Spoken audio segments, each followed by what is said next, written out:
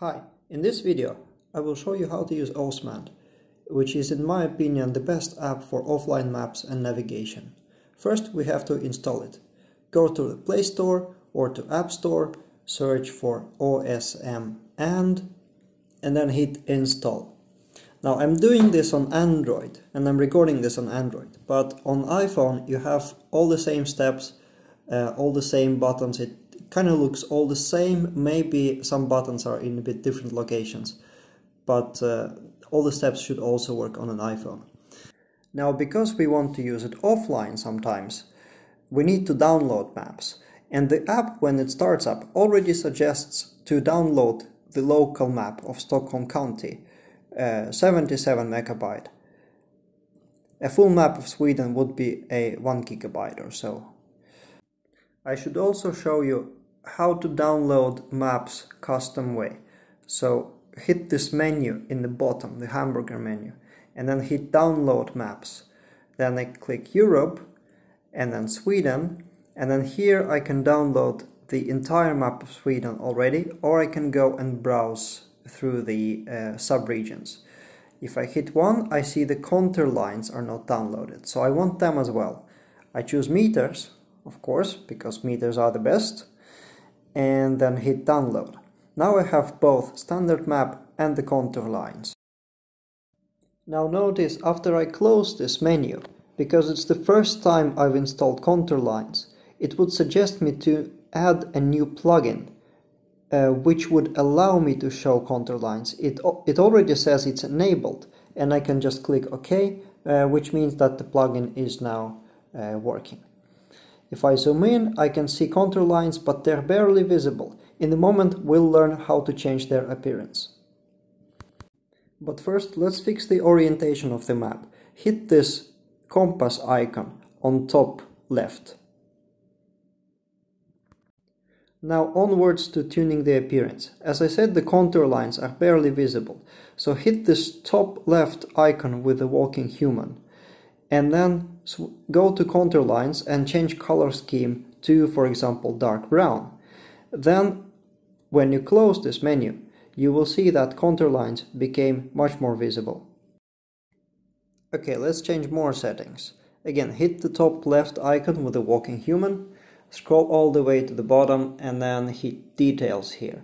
Here I would prefer to show more details, show road surface and road quality. I also hit nature reserves for some reason.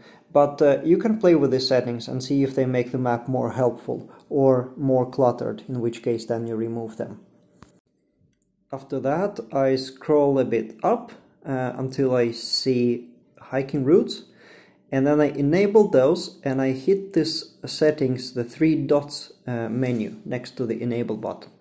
Here I can color them differently by network affiliation or by OSMC. OSMC uh, tries to follow the same colors as you have on the trees, on the marking on the trees. But here I choose the color that is more visible so I see it from far away uh, on the map. And now in the forest you can see where the main trail is in, in very bright color. The app currently doesn't show me where I am, so I need to enable the location. If I go to the app menu and I hold on the app icon, I can hit then app info and then permissions. Here I can enable the location. The app itself doesn't ask for location by default. Okay, allow when using the app and then we can return to the app itself.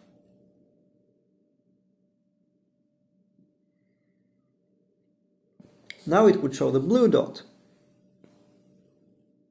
That's where I am now. To make the map more useful, I prefer to add more map layers, and some of them can be taken from online maps. So here if I hit map sources in the appearance menu, I can enable online maps. Hit on. Then in the appearance menu I can go to overlay map, enable that one and choose a map source to show overlay on top of the map I already have.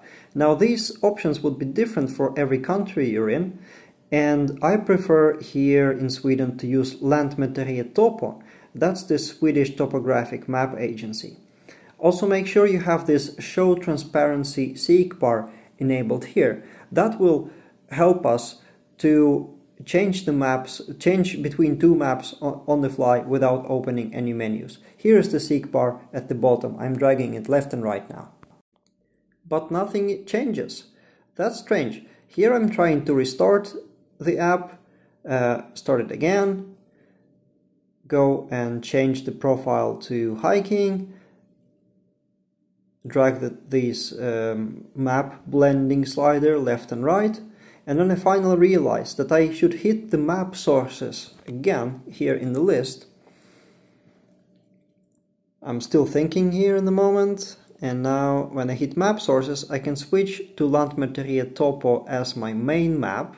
That's a weird, very weird practice, but I switched to main map. Now it's on Lantmäteriet map as I can see visually, so I confirm it visually, and then I switch to offline vector maps and exit the menu. Yeah, check the overlay and now as I drag the slider left and right I can switch between the two maps now that I have. One is the one that looks like paper map, that's from Lantmäteriet. And the other one that looks like digital map, that's uh, offline Osmand uh, map itself. Yeah, so uh, the online maps, uh, they are indeed paper maps, they are not available on uh, all zoom levels. So sometimes I have like a better quality, sometimes I have worse quality, and sometimes you see there's like boxes here and rectangles that haven't yet loaded uh, from the online map. So sometimes these map services uh, can be rather slow. Here is a good example. A piece of map didn't load yet, but if I wait just a bit more, then it then it comes in. And sometimes I can even uh, I even like to blend the two maps together and keep the slider somewhere in the middle of the transparency option, if that's helpful. Okay, next exercise. Now I want to get my coordinates and send them to a friend. So here I need to tap on the arrow or the dot, that's my, my location, drag this menu upwards, so I open the drawer, and here I have my coordinates uh, at this spot that I clicked in all possible formats. I click one of them and it's copied to clipboard. Now I paste these coordinates just as usual in the chat. I can also paste them in any other map service because these are coordinates in usually other map services they also accept coordinates as a search request in many different formats. Here I paste the coordinates in the search bar of Google Maps and it centers the map at my current location, which is home, so no surprise here. Okay, next thing, points of interest.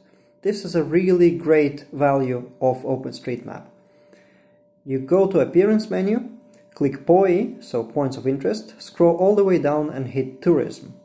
Now they would appear on the map in this yellow orangey um, circles with icons on them and I want this viewpoint to the north of the lake.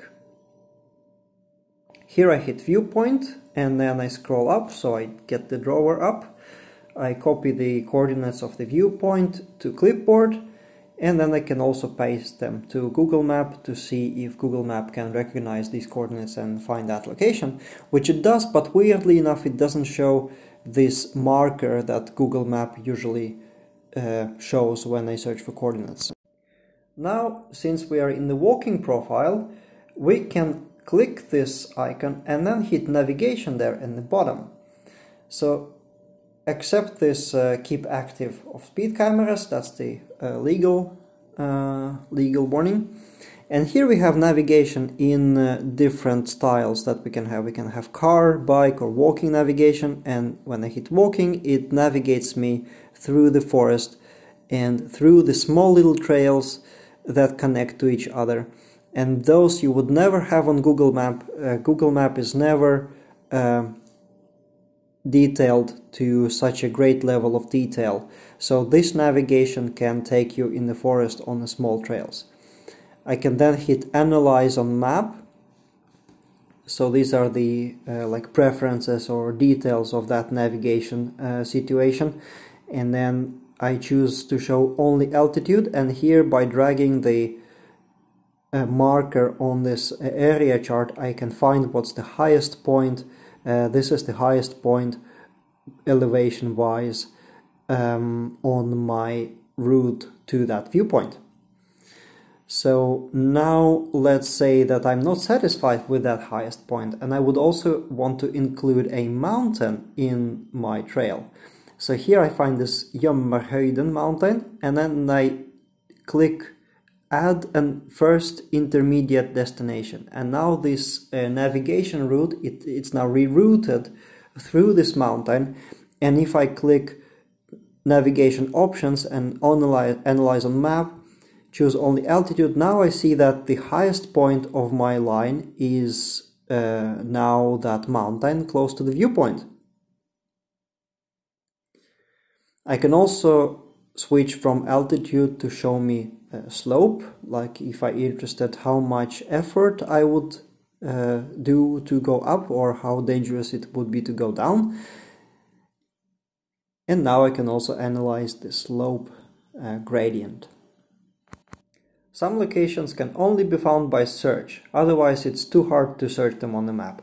Let's look for this Pizzeria Deli Italia in the search. And we discover that there's many search results that look and, and they're named exactly the same. And if I hit the first one of them, I would assume that it would be the closest one to me. But that's the wrong one. See, it's near center of Stockholm. So instead, I click show on map. That's how I can find the nearest uh, circle points of interest um, Deli Italia to me. And I can add this point on top of my navigation route that I already have. So I just select add subsequent destination when I try to navigate there instead of replacing the destination. And you can see it takes us through the forest, through first flag the mountain, the second flag the viewpoint, and finally to Deli Italia. Saving locations. One great feature of this app is that you can save locations secretly on your device without sharing them with Google or Apple or anyone else. So if you hit one point that you like, such as this shelter close to the trail we're passing, then you can star it, add star, and then you hit save.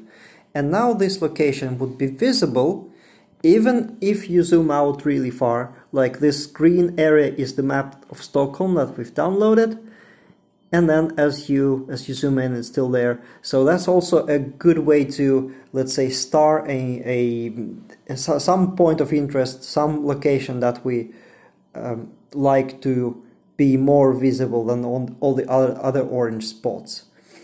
So here we do something more custom. We hit uh, the finger and hold it on the end of the trail here by the lake. And we want to save a custom favorite spot which wasn't on the map before I write lake access. So that would be our bathing spot for the summer when the weather becomes really warm and we would like to go swimming. So here we switch to blue color and we go to, uh, let's say this icon, uh, like a bathing spot. And here now it's saved as a bathing spot for later and you can see it's also visible from far away. So now we have two spots that are saved as favorites, the bathing, bathing spot and the, the, the shelter. And the final feature I would like to share is recording tracks. So here we need to enable a custom plugin. It's not in the appearance menu, it's in the bottom hamburger menu. Uh, there we go to plugins and then we select trip recording and we press on. So now this plugin is on and now we can see rec at the top right. Uh, we can see appeared appeared there. There is a new button rec at the top right. I can change some settings, some appearance of how this uh, recording track would look like and I can also change logging interval, how uh, uh, frequent the measurements will be taken because that influences the battery. Uh, so 15 seconds is good to save some battery and now we start recording and since I'm in the building at the moment we can use the drifting of the GPS to see that the track is actually recording. So I'm not moving anywhere, but the drifting of the GPS uh, did the track for me. Now I hit stop recording and I save this name of the track. I can hit open, so I open how it looks. Here I can edit my track, I can change the appearance, I can hide it from the map and so on. And I can also hit options and then share. And again, I use my uh, message app of choice Telegram to share this file to someone else who is a fellow explorer friend of mine. That's it. I hope you enjoyed this little presentation. Hit the like button and subscribe.